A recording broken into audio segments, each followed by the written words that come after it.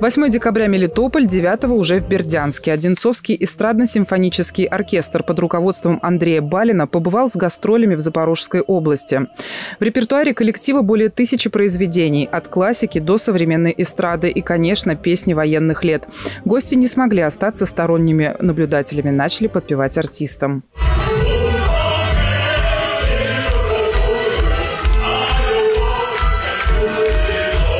Концерты одинцовских музыкантов стали настоящим новогодним подарком для жителей новых территорий России. В планах виртуозов вернуться в Запорожскую область с новыми творческими проектами.